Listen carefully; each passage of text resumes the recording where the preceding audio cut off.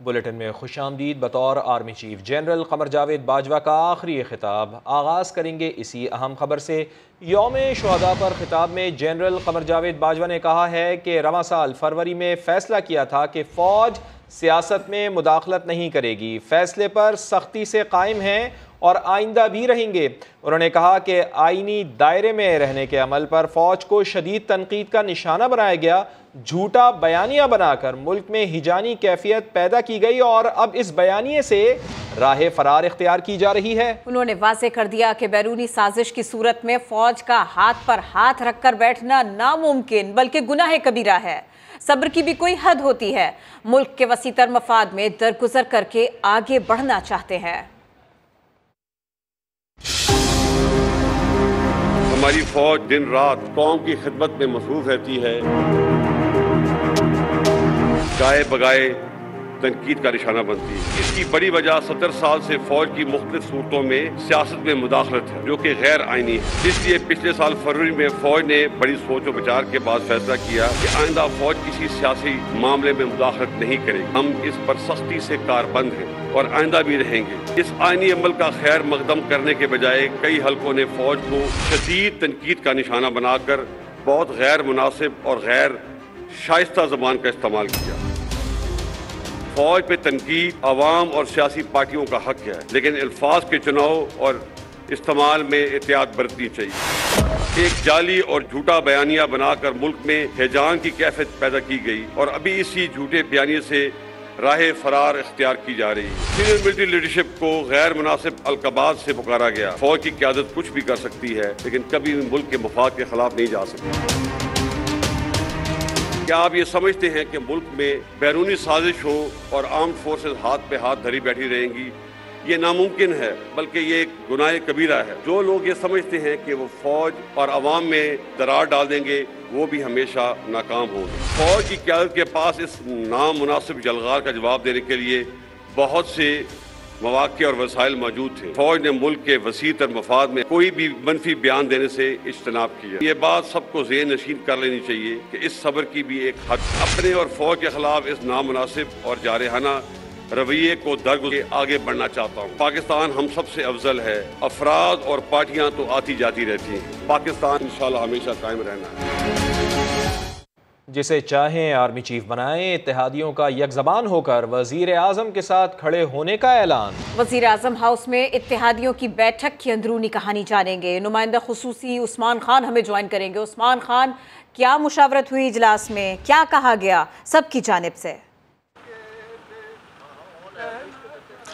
जी देखिए वजी अजम के जेर सदारत ये अहम तरीन इजलास था और ये ऐसे मौके पर बुलाया गया मुशावरत के लिए जब अहम तरीन तकर्री, यानी आर्मी चीफ़ और chairman joint chief of staff committee का तकर करना है। उससे चंद घंटों पहले वज़ी अजम की जानब से अपने इतिहादियों से मशावरत की गई है। यहाँ पर डिनर का अहतमाम किया गया था उन तमाम कायदीन के लिए जो कि हकूमती इतिहाद का हिस्सा हैं। इनमें जो है वज़ी अजम ने जब ये तमाम तर सूरत हाल बाबा तौर पर उनके सामने रखी और उनको बाबा आगाह किया कि छः नामों पर मुश्तमिल समरी उनके पास आ चुकी है और वो जल्द ही इसके ऊपर को फैसला करेंगे, जिसके ऊपर ज़रा का कहना है कि इतिहादियों ने भी मुकम्मल तौर पर इख्तियार फ़ैसलों का इख्तियार जो है वज़ी अजम को दे दिया और उनका ये कहना है कि ये चूँकि आपका सवाबदीदी इख्तियार है इसलिए आप जो भी फ़ैसला करेंगे तमाम तर इतिहादी जो है उनके साथ खड़े होंगे और ना सिर्फ़ ये फ़ैसला बल्कि इसके बाद भी आने वाले जो अहम कौमी मामला में अमर जो फ़ैसले किए जाएँगे उसका भी साथ दिया जाएगा। तो इसी तरह जो गुफ्तु की गई मुख्तसरा उसमें आसिफ अली जरदारी का ये कहना था कि आप वज़ी अजम और आइन ने यह इख्तियार दिया है कि आप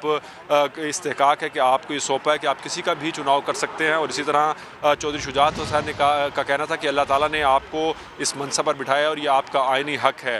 इस डॉक्टर खालिद मक्सी, खालिद मकबूल सदीकी बिलावल भुट्टो, उनकी जानब से भी मुकम्मल तौर पर फैसलों का अख्तियार वज़ी अजम को दे दिया गया और उनका ये कहना था कि जो भी आप फैसला करेंगे वो सबको मंजूर होगा। इसमें एक दिलचस्प सूरत हाल ये है कि मौलाना फजलरहमान जो कि गवर्नर खैबर पख्तूनख्वा की हलफ बरदारी में के बायस जो है वो तखीर से पहुँचे थे और उसके बाद वहाँ पर उनकी आसिफ जरदारी से भी सरसरी मुलाकात हुई लेकिन वज़ी अजम के साथ जो उस्मान खान हमें बता रहे हैं जिसे चाहे आर्मी चीफ बनाए इतिहादियों ने यक जबान होकर वज़ी अजम के साथ खड़े होने का ऐलान कर दिया है। ऐसे में चेयरमैन पीटीआई इमरान खान कहते हैं कि अहम तैनाती की समरी पर सदर ममलिकत उनसे मुशावरत करेंगे। सदर के साथ मिलकर आइनी दायरे में खेलेंगे तो चेयरमैन पीटीआई इमरान खान ये कह रहे हैं कि अहम तैनाती की समरी पर सदर ममलिकत उनसे मुशावरत करेंगे, सदर के साथ मिलकर आइनी दायरे में खेलेंगे। क्या कहना है उनका? सुनवाते हैं आपको। Army chief general Qamar Javed Bajwa का कहना है, पाकिस्तान संगीन मुआशी मुश्किल का शिकार है। कोई एक जमात मुल्क को बहरान से नहीं निकाल सकती। हम चाहते हैं आइंदा इंतबात के बाद सेलेक्टेड या इम्पोर्टेड के बजाय इलेक्टेड हुकूमत आए। जमहूरियत की रूह को समझते हुए और अदम बर्दाश्त की फजा को ख़त्म करते हुए पाकिस्तान में एक सच्चा जमहूरी कल्चरी कल्चर अपनाना है। 2018 के इलेक्शनों में बास पार्टियों ने आरटीएस के बैठने को बहाना बनाकर जीती पार्टी को सिलेक्टेड का लकब दिया। 2022 में एतमाद का वोट होने के बाद एक पार्टी ने दूसरी पार्टी को इम्पोर्टेड का लकब दिया। हमें इस रवैये को रद्द करना होगा। हार जीत सियासत का हिस्सा है और हर पार्टी को अपनी फतह और शिकस्त को कबूल करने का हौसला पैदा करना होगा, ताकि अगले इलेक्शन में एक इम्पोर्टेड या सिलेक्टेड गवर्नमेंट के बजाय इलेक्टेड गवर्नमेंट आए। और ये तो अपना कथा से शुरू कर दिया है। मुझे उम्मीद है कि हमारी सियासी पार्टियाँ भी अपने रवैये पर नजरसानी करेंगी। ये भी हकीकत है कि पाकिस्तान में हर अदारे सियासी पार्टियों और सिविल सोसाइटी से भी गलतियाँ हुई हैं। हमें इन गलतियों से सबक सीखना चाहिए और आगे बढ़ना चाहिए। पाकिस्तान आज संगीन, माशी मुश्किल का शिकार है। कोई भी एक पार्टी पाकिस्तान को इस माशी बुरान से निकाल नहीं सकती। सियासी इसकाम लाजिम है। अब वक्त आ गया है कि तमाम स्टेक होल्डर अपनी ज़ाती अना को एक तरफ़ रखते हुए आगे बढ़े और पाकिस्तान को इस बुरान से निकालें। अगर पाकिस्तान ने आगे बढ़ना है तो हमें अदम बर्दाश्त और मैं न मानूँ के रवैये को तर्क करना होगा वतन की हिफाजत और सालमियत हमारा अवलिन फ़र्ज़ है। जिसको निभाने के लिए हम किसी भी कुर्बानी से दरेक नहीं करेंगे।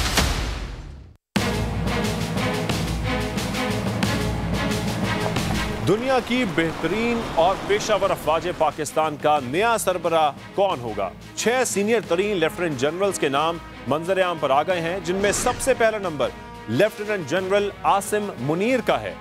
क्वार्टर मास्टर जनरल के अहदे पर खिदमात अंजाम देने वाले lieutenant general Asim Munir, ISI और मिलिट्री इंटेलिजेंस की कमान भी संभाल चुके हैं।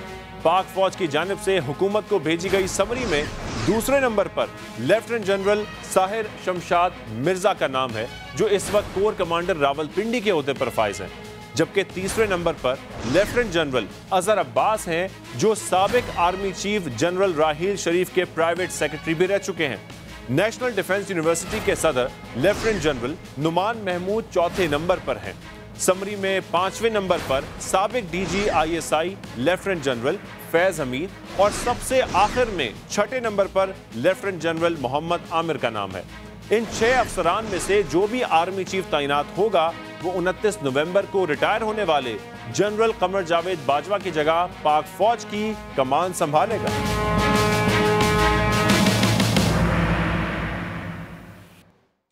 आर्मी चीफ ने सानहा मशरक़ी पाकिस्तान को फ़ौजी नहीं, सियासी नाकामी करार दे दिया। कहते हैं, लड़ने वाली अफवाज की तादाद बानवे हज़ार नहीं, चौंतीस हज़ार थी, जिनका मुकाबला ढाई लाख इंडियन फ़ौज और मुक्ति बाहिनी के दो लाख तरबियत याफ्ता जंगजुओं से था। अददी लिहाज से कमी के बावजूद पाक फ़ौज ने बहादरी से मुकाबला किया, जिसका इतराफ़ भारतीय आर्मी चीफ ने भी किया।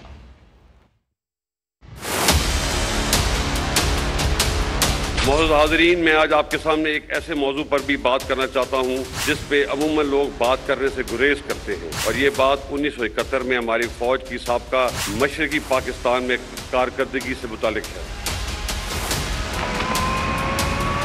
मैं यहाँ पर कुछ हकायक दुरुस्त करना चाहता हूँ। सबसे पहले, सबका मशरकी पाकिस्तान एक फौजी नहीं, एक सियासी नाकामी थी। लड़ने वाले फौजों की तादाद बानवे हज़ार नहीं, सिर्फ़ चौंतीस हज़ार थी। बाकी लोग मुख्तलिफ़ गवर्नमेंट के डिपार्टमेंट्स में थे। और इन चौंतीस हज़ार लोगों का मुकाबला ढाई लाख इंडियन आर्मी, दो lakh train Mukti Bahini against these heavy out हमारी फौज बहुत बहादुरी से लड़ी और बेमिसाल कुर्बानियाँ पेश की, जिसका इतराफ खुद Indian army chief field marshal Manekshaw ने भी किया है। इन बहादुर गाजियों और शहीदों की कुर्बानियों का आज तक कौम ने इतराफ़ नहीं किया, जो कि एक बहुत बड़ी ज़्यादा है। मैं आज इस मौके का फ़ायदा उठाते हुए इन तमाम गाजियों और शहीदों को खराज तहसीन पेश करता हूँ और पेश करता रहूँगा। वो हमारे हीरो हैं और कौम को उन पर फ़ख्र होना चाहिए। जी एच क्यू में योम दिफा और योम शहदा से मुतल पुरवकार तकरीब मनद हुई। Army chief general Qamar Javed Bajwa की corps commander Rawal Rawalpindi, lieutenant general Sahir Shamshad Mirza के हमरा यादगार शहदा पर हाजिरी फूल चढ़ाए।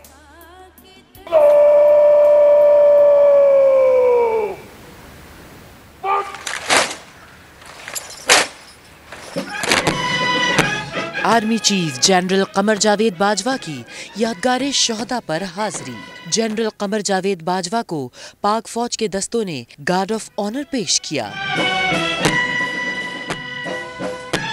जीएचक्यू रावलपिंडी में योम दिफा शहदा से मुतक पुरवकार तकरीब में army chief general Qamar Javed Bajwa ने corps commander Rawalpindi, lieutenant general Sahir Shamshad Mirza के हमरा यादगार शहदा पर फूल रखे।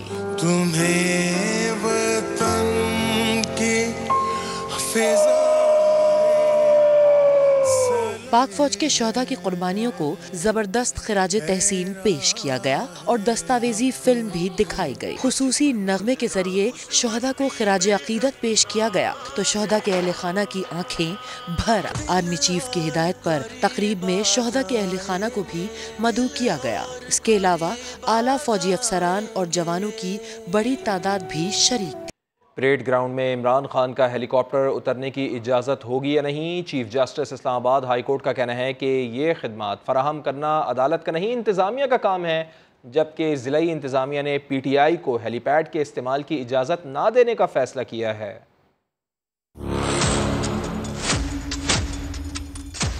इस्लामाबाद हाई कोर्ट ने परेड ग्राउंड हेलीपैड इस्तेमाल करने से मुतालिक पीटीआई दरखास्त पर फैसला महफूज कर लिया। चीफ जस्टिस आमिर फारूक ने रिमार्क्स दिए, हेलीपैड सर्विस अदालत नहीं दे सकती, ये इंतजामिया का काम है। इस्लामाबाद ज़िले इंतजामिया ने भी पीटीआई को लाल झंडी दिखा दी। इमरान खान का 26 नवंबर को आसमान से परेड ग्राउंड में उतरने का ख्वाब फ़िलहाल चकना चूर हेलीपैड के इस्तेमाल की इजाज़त देने से साफ़ इनकार कर दिया गया। आईजी इस्लामाबाद की जेर सदारत तमाम सी पी ओज और ए के इजलास में भी बड़े फैसले। तय पाया की फैजाबाद इंटरचेंज, बस अड्डा और दुकानें बंद रहेंगी। ट्रैफ़िक के लिए मुतबादल हिकमत अमली अपनाई जाएगी। पंद्रह सौ एफ़ सी एहलकारों समेत पुलिस और रेंजर्स की भारी नफरी का कड़ा सिक्योरिटी पहरा होगा। पीटीआई के एहतजाजी धरनों के खिलाफ दरखास्तों पर लाहौर हाईकोर्ट रावलपिंडी बेंच में भी समात हुई। डीजी इंटेलिजेंस ब्यूरो समेत मुतल हुकाम ने अपनी अपनी रिपोर्ट्स पेश की। समात पाँच दिसंबर तक मुलतवी करते हुए जस्टिस मिर्ज़ा वकास रऊफ ने मामूलात ज़िंदगी मुतासर होने पर कसूरवारों के खिलाफ सख्त कार्रवाई का इंतबाह भी कर दिया। सरकारी वसाइल पर जाती तशहर की इजाज़त नहीं दी जा सकती। सुप्रीम कोर्ट ने सरकारी इमलाक और दस्तावेजात पर सियासतदानों और पब्लिक ऑफ़िस होल्डर्स की तस्वीर लगाने पर पाबंदी आयद कर दी। रावलपिंडी की कच्ची आबादी से मुतालिक केस का फैसला सुप्रीम कोर्ट के जस्टिस काजी फायज ईसा ने तहरीर किया। लिखा कि पाकिस्तान किसी की जागीर नहीं, जहाँ अवाम हुक्मरानों के सामने झुक जाए। जमहूरी साख को बरकरार रखने के लिए चौकन्ना रहना होगा। सुप्रीम कोर्ट के फैसले में कहा गया है कि सरकारी अमलाक पर ज़ाती तशहर के लिए तस्वीर इखलाकी इकदार को मजरूह करती हैं।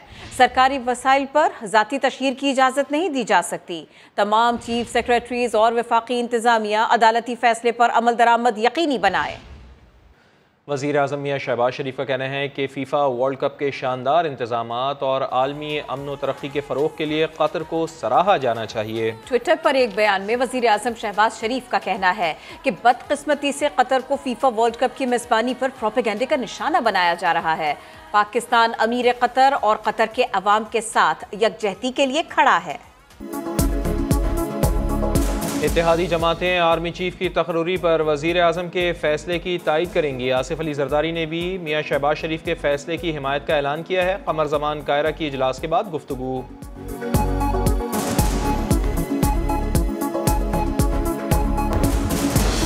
और वज़ीर अजम शहबाज शरीफ की कतर की मेज़बानी में फुटबॉल वर्ल्ड कप पर होने वाली तनकीद की मजम्मत, ट्वीट में लिखा।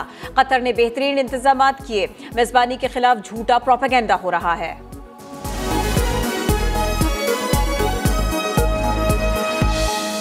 कराची डिफेंस में पुलिस एहलकार के कत्ल में मुलविस मुलजिम। पुलिस और एफ़ आई ए की गफलत के बाईस फरार हुआ। बोर्डिंग के दो घंटे के बाद तक भी मुलजिम एयरपोर्ट पर ही मौजूद था लेकिन गिरफ़्तार नहीं किया जा सका। शाहनवाज अली कादरी की रिपोर्ट। अरे भाई तुम लोग ने गन निकाल ली मैंने भी मैंने भी निकाल। ली हाँ बुलाओ मोबाइल चलो। किस थाने को बता दो ना। अरे तू मुझे बता दे मैं उधर ही चलूँगा। अल्लाह की कसम सीधा उधर जाऊँगा तू बता। कराची डिफेंस में पुलिस के अहलकार के कत्ल में मुलविस खुर्रम निसार के फरार में पुलिस और एफआईए की गफदत सामने आई है। 21 नवंबर की रात पौने 12 बजे अब्दुल रहमान को कत्ल करने वाला पुलिस की नाक के नीचे से फरार हो गया। वाक़े के बाद खुर्रम निसार डिफेंस में अपने घर गया। गाड़ी तब्दील की और स्वीडन के लिए रवाना हो गया। पुलिस हिरासत में मौजूद मुलजिम के बरदर नस्बती ने बताया, खुर्रम निसार होटल में इससे मिलने आया था और बताया कि झगड़े के बाद इसे फौरी बैरून मुल्क जाना है। गाड़ी में ये बात हुई थी कि मुझे जाना है यहाँ से मुल्क से बाहर। वैसे ही मैं जा रहा हूँ, लेकिन ये मेरा फड्डा हो गया तो मुझे जल्दी जाना है। खुर्रम निसार ने चार बजकर ग्यारह मिनट पर बोर्डिंग के बाद छः बजकर पैंतीस मिनट पर कराची एयरपोर्ट से उड़ान भरी। अगरचे पुलिस ने बोर्डिंग के 20 मिनट बाद ही एफआईए इमिग्रेशन को मुलिम के पासपोर्ट और दीगर तफसील फराम की थी। दो घंटे तक मुलिम कराची एयरपोर्ट पर मौजूद रहा। लेकिन पुलिस ने इस तक पहुँचने की कोशिश की, न एफआईए ने कोई तेज़ी दिखाई। लेकिन अब पुलिस ने मुलिम के रेड वारंट के लिए एफ़ एफआईए से रबता कर लिया है। डीआईजी साउथ कहते हैं मुलिम का पासपोर्ट मनसूख करने की भी दरख्वास्त की जाएगी। पुलिस तहाल इस लड़की तक भी नहीं पहुँच पाई है, जो खुर्रम निसार के साथ थी, और इसको अगवा किए जाने का दावा किया गया था। वाक़े की तहकीकात के लिए चार रुकनी तहकीकाती कमेटी बना दी गई है, जो एक हफ़्ते में रिपोर्ट पेश करेगी। मुलिम के घर से मिलने वाली पिस्तौल का फॉरेंसिक भी नहीं हो सका है। शाहनवाज अली कादरी, समा, कराची। कराची के इलाके कोरंगी में सस्ता आटा फरोख करने वाले ट्रक को लूटने की कोशिश, असिस्टेंट कमिश्नर लांडी के गनमैन ने फायरिंग करके दो डाकुओं को हलाक कर दिया। पुलिस के मुताबिक अवामी कॉलोनी में असिस्टेंट कमिश्नर लांडी मोनस अहमद के दफ्तर के सामने सस्ता आटा फरोख करने के लिए ट्रक मौजूद था। चार डाकुओं ने ट्रक पर चढ़कर लूट मार करने की कोशिश की। दफ्तर में मौजूद गनमैन ने डाकुओं पर फायरिंग कर दी, जिससे दो डाकू मारे गए, दो डाकू फरार हो गए। खैरपुर में सैलाब के तीन माह बाद भी पानी नहीं निकाला जा सका। मैयत को ट्यूब के ज़रिए कब्रिस्तान तक पहुंचाना पड़ा।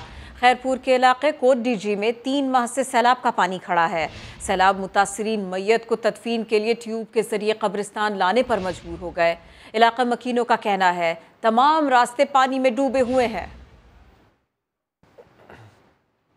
विज़िट कीजिए हमारी वेबसाइट समा डॉट टीवी इसके अलावा आप हमें फेसबुक और ट्विटर पर भी ज्वाइन कर सकते हैं। एक ब्रेक के बाद हेडलाइंस के साथ दोबारा हाजिर होंगे। देखते रहिए समा